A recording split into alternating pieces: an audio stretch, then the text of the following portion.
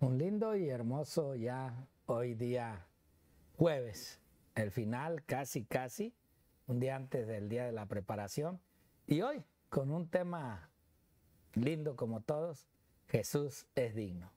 Amén. ¿Realmente será Jesús digno? Bueno, vamos a verlo esto con base a lo que la lección nos dice, por qué es que Jesús es digno. Y hoy, pues aquí como ustedes ven, eh, nuevamente con los pastores para compartir esta dignidad que Dios o Jesús tiene para todo ser humano y todo ser celestial. Eh, pastor, ¿tiene algunas Sí, palabras? queridos amigos, Dios les bendiga, queridos televidentes, hermanos de la iglesia, de la comunidad de, de- de Los Ángeles, diferentes eh, pueblos o ciudades eh, cerca a Los Ángeles, damos la bienvenida y sabemos que este, esta lección de escuela sabática, este repaso también la ven en todo Estados Unidos, eh, Centroamérica, Sudamérica y en toda parte donde hay internet o hay un hispano, pueden ver este programa para que puedan estudiar con nosotros y le damos una bienvenida a todas las, las personas de habla hispana donde se encuentren. Que Dios les bendiga grandemente y siempre contentos de que ustedes puedan participar con nosotros. Gracias, pastor. Pastor, No somos dignos de estar aquí, pero Dios nos permite Amén. Amén. estar abriendo su palabra en esta hora y compartirla. Es un gusto. Dios bendiga el repaso que hemos de tener en este momento. Gracias, Pastor Freddy. Y recordándoles, hoy, hoy a las 7 de la tarde, tenemos una cita en la iglesia de Pomona. Estará el Pastor Freddy iniciando su campaña ahí en la iglesia de Pomona. La dirección, ustedes la ven allí en pantalla. 217 East McKinley, en Pomona, California. Y el temario que tenemos para esta campaña, ¿cómo me dijo que se llamaba, Pastor? Verdades eternas. verdades eternas, así como las que hoy estamos. Y, y nos podía decir exactamente para que los televidentes sepan qué, qué- cuál es el temario.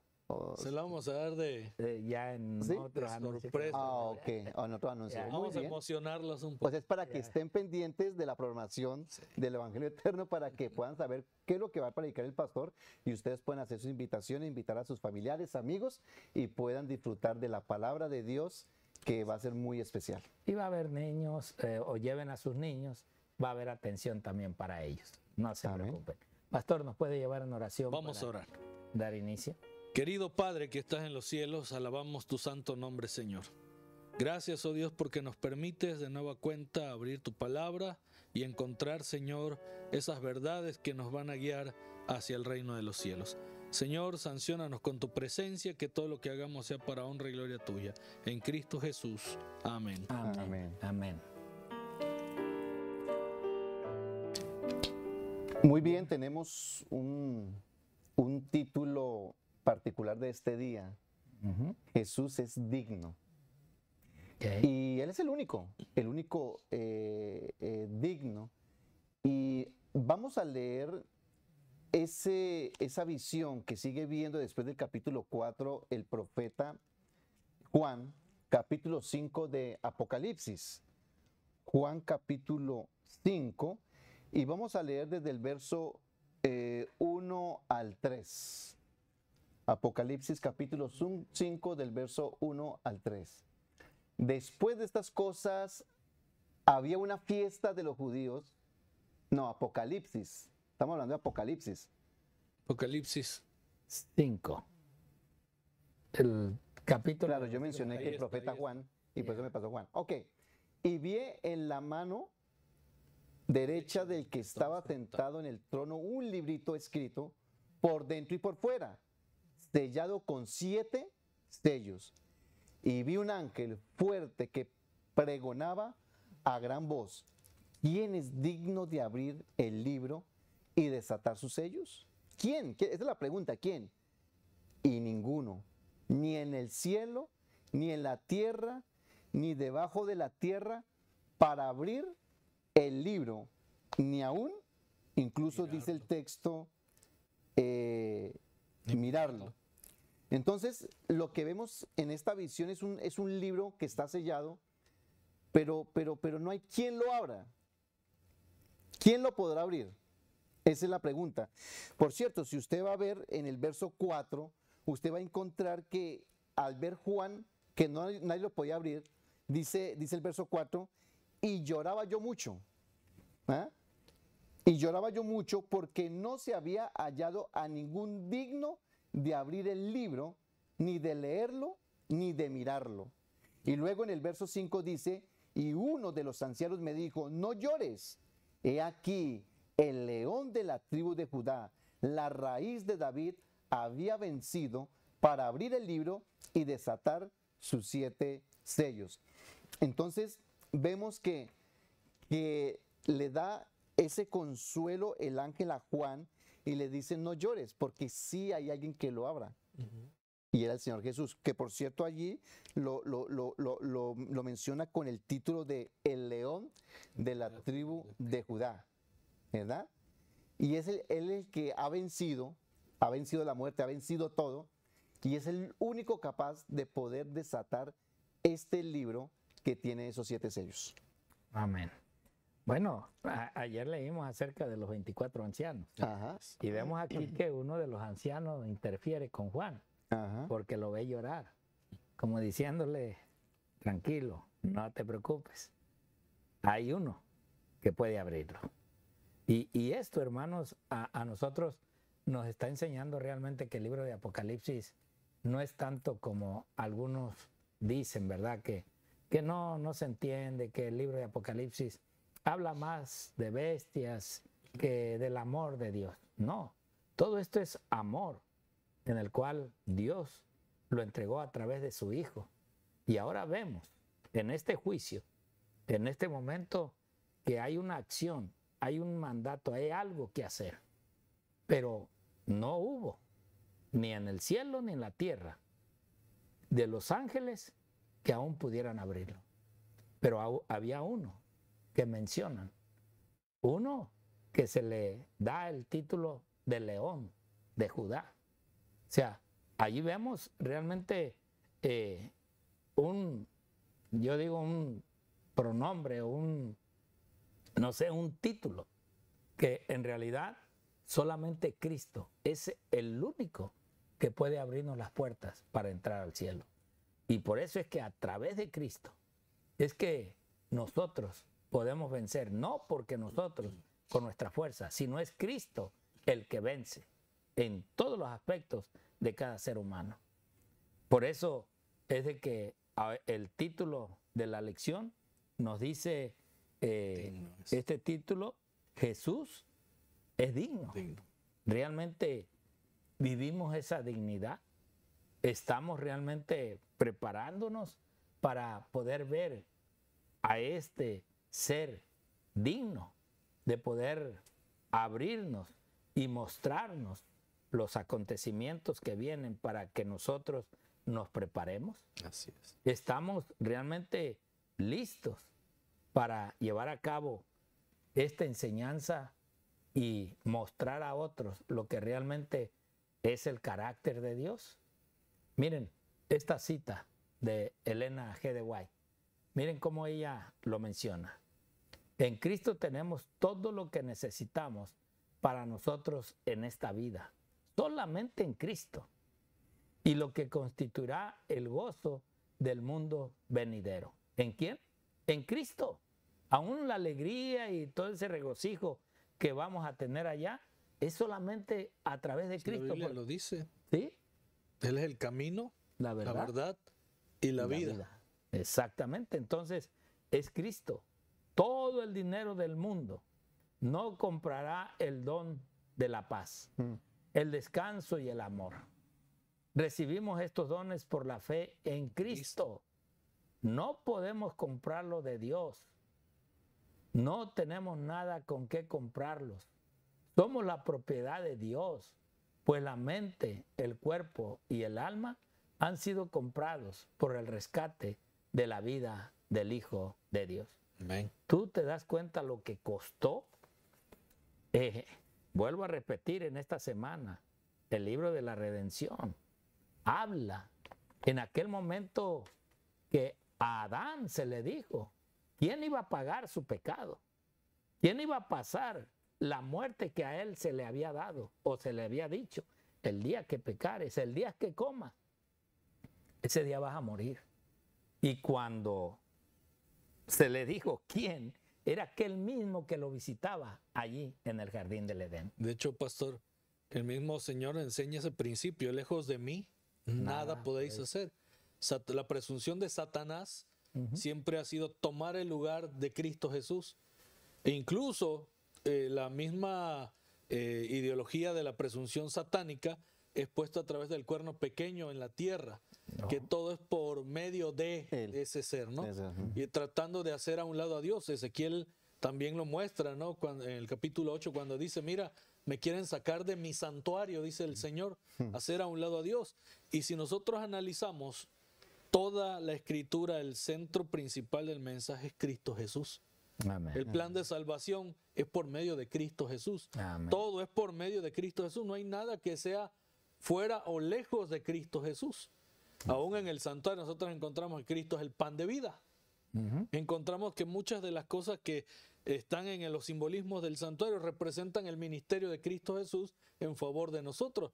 Nosotros no podremos ser salvos por nuestra propia mano, por nuestra propia fuerza, por nuestra propia idea, solamente en Cristo Jesús. Amén. Sí, y esa partecita que leyó el pastor que dice que el dinero no compra el amor, la paz y lo que decía ahí, eh, incluso los, lo- hablando, porque como estamos hablando del juicio, ¿cómo personas pueden llegar a comprar un juicio? Oh, sí. Extorsionar al juez y, y- y eso se ve mucho en nuestros países y en otros países se ve, se ve eso. ¿Y por qué tal vez acá no? No, no sé. Pero el juicio de, de- de Dios, o sea, ¿quién, quién, quién de nosotros va a poder alterar, alterar eso? El juicio de Dios es Y, juicio de y Dios. volvemos a lo que mencionabas hace unos días atrás en relación a que Dios está a cargo de ese juicio. Jesús está a cargo de ese juicio, es el abogado. Entonces, por medio de Jesús es la salvación. Amén. Por eso dice allí que nadie era digno de, de- de abrir ese sello, nadie podía, ni aún en la tierra. Y por eso lloraba. Yo no sé cómo se sienten ustedes cuando comienzan a, a presentarse los eventos, las señales finales, y vemos cómo muere gente inocente, cómo se pierde mucha gente. Eh, a mí me causa dolor, me causa impacto eso. La Biblia dice que ninguno de, de nosotros hoy en día este, es digno. ¿Por qué? Porque hemos cometido pecado. No hay solo uno que no haya cometido pecado en esta tierra. El único que no cometió pecado, ¿quién fue? Cristo. Cristo Jesús. Y es por medio de Cristo Jesús la salvación. Entonces, cuando pasa eso, yo quiero imaginarme a Juan la desesperación de ver que nadie es capaz o nadie es digno de, de poder abrir eso y, y poder alcanzar la salvación eh, de, de- de alguna manera, ¿no? Sino que solamente por medio de Cristo Jesús, Él era el digno, el único digno, dichoso, el único que podía abrir ese sello para bendición de nosotros mismos.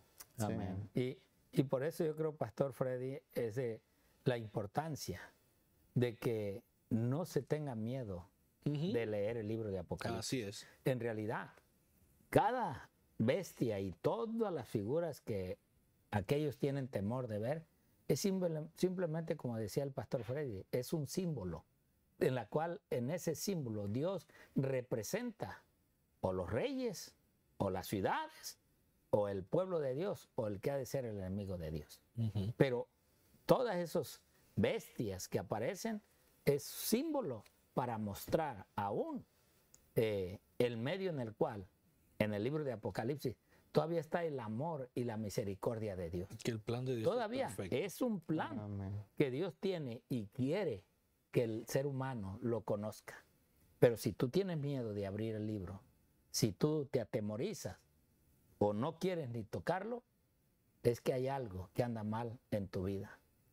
Cae de rodillas y pídele a Dios que te ayude. Amén. Mira, esta otra cita que tiene Elena G. de Guay eh, en su libro, Hechos de los Apóstoles. Dice, por ti consiente el Hijo de Dios en llevar esta carga de culpabilidad. Recuérdate, en la cruz, él sintió que su padre se retiró y dijo, Padre, Padre, ¿por qué me has abandonado? O sea, la culpa tuya se le cargó a Jesús. Por eso dice, por ti saquea el dominio de la muerte y abre las puertas del paraíso. Por ti. El que calmó las airadas ondas y anduvo sobre las crestas espumosas de las olas. el que hizo temblar a los demonios y huir a la enfermedad, el que abrió los ojos de los ciegos y devolvió la vida a los muertos, se ofrece como sacrificio en la cruz. Y esto por amor a ti. ¿Te das cuenta? Todo el trabajo que él tuvo que pasar, por donde tuvo que andar, eh, que tuvo que sufrir, y todo por quién? Por ti y por mí. Él, el expiador del pecado, soporta la ira de la justicia divina y por causa tuya se hizo pecado. Ahora entendemos, la ira de Dios solamente Cristo la puede tranquilizar, calmar. Había un juicio para Adán. Dios Padre lo había dicho el día que tú comas de ese árbol, vas a morir. Y ahora vemos que Cristo ahí se dio como ese corderito, se entregó. Dice este libro que ver en realidad aquel sacrificio de aquel primer corderito para vestir a los primeros hombres de esta tierra, Adán comprendió. Aun cuando fue sacado del paraíso y vio caer las hojas, sufría porque en el paraíso nunca vio una tristeza o un árbol caído. Amén. Asimismo, hermanos, yo creo que nosotros tenemos que pensar de qué manera en realidad desagradamos muchas veces la vista de Dios por la cual el pecado no lo queremos dejar. ¿Alguno de ustedes tiene algún Eh, comentario? yo, yo quiero terminar de pronto, obviamente no leímos todo el capítulo 5, pero, pero aquí hay una, una escena que complementa eh, lo que se venía diciendo antes. Vamos a Apocalipsis capítulo 5, Apocalipsis 5, y vamos a leer desde el verso 8. Eh, eh, muchos toman que el libro de Apocalipsis es de terror, pero aquí hay algo bien interesante. Apocalipsis capítulo 5 y el verso 8 dice la siguiente manera. Y cuando hubo tomado el libro, ¿quién fue que tomó el libro? El Cordero, Cordero. hablando de Jesús, ¿no? Los cuatro seres vivientes y los 24 ancianos se Postraron. postraron delante del Cordero. Todos tenían arpas y copas de oro llenas de incienso, que son las oraciones de los santos. Pero vea lo que me, me gusta el verso 9. Y cantaban un cántico diciendo, digno Eres- de tomar el libro y abrir sus sellos, porque tú fuiste inmolado con tu sangre y con tu sangre nos ha redimido para Dios de todo el linaje y lengua y pueblo y nación. Fíjese que aquí reconocen lo que Jesús es un canto y que reconocen a Jesús lo que ha hecho por el ser humano. El verso 10, y nos has hecho para nuestro Dios reyes y sacerdotes y reinaremos en la tierra. Estando en la tierra nueva, viviremos como reyes, ¿verdad? Y luego el verso 11, y miré y oí la voz de muchos ángeles alrededor del trono y de los seres vivientes y de los ancianos, y su número era millones de millones. Y el último verso, el 12, que decían a gran voz, el cordero que fue inmolado es digno de tomar el poder, la riqueza, la sabiduría, la fortaleza, la honra, la gloria y la alabanza. En otras palabras, a Jesús, nosotros debemos de reconocer que Jesús es nuestro Salvador, es nuestro Dios y es el que ha hecho todo para que nosotros, bueno, junto con el Padre y obviamente el Espíritu Santo, pero la parte del morir por nosotros fue inmolado por nuestros pecados. Y gracias a ese acto de amor es que tú y yo tenemos salvación. Querido amigo televidente, lo único que te quiero decir es aférrate al Señor. Puede ser que hay muchas cosas que de la Biblia no, no, no, no entiendas. Puede ser que no lo entiendas. Pero aférrate a Jesús, que el Señor Jesús dará tu Santo Espíritu, dará tu Santo Espíritu y vas a entender todo. Dios te espera en el cielo. Eh, pastor. Bueno, vamos a terminar con, ya para el minutito que nos queda, estas eh, últimas palabras de Elena de Guay acerca de esa dignidad de nuestro Señor Jesucristo. Veamos qué nos dice esta escritura. Eh, dice, están repasando nuestros hermanos el pasado, presente y futuro a medida que se despliega ante el mundo. Fíjate, una pregunta personal, ¿verdad? ¿Estamos en eso? ¿Prestan atención a los mensajes de amonestación que se les ha dado? En realidad, es nuestra mayor preocupación hoy día que nuestras vidas sean refinadas y purificadas y que reflejemos la semejanza divina. Ve, toda esta secuencia de preguntas es en las cuales individualmente nosotros tenemos que contestarnos a nosotros mismos para poder entender y comprender lo que realmente Dios quiere de nosotros. Esto deben experimentar todos los que se unan a la compañía de los que son lavados y emblanquecidos en la sangre del Cordero. Deben estar ataviados con la justicia de Cristo. El nombre de Cristo debe estar escrito en sus frentes. Deben regocijarse en la esperanza de la gloria de Dios. Cristo ha grabado los nombres de su pueblo en la palma de sus manos. Nunca perderá su interés en ninguna alma necesitada. Así es de que, hermanos, con todo esto ya podemos decir realmente cuál es nuestra condición. ¿Estamos listos? ¿Estamos preparados para ese juicio que ya se avecina muy pronto y que el tiempo de gracia, como a los antediluvianos, se también será cerrar la puerta? Dios espera, porque el sacrificio ya se hizo. Por lo tanto, ese sacrificio que no sea en vano en tu vida.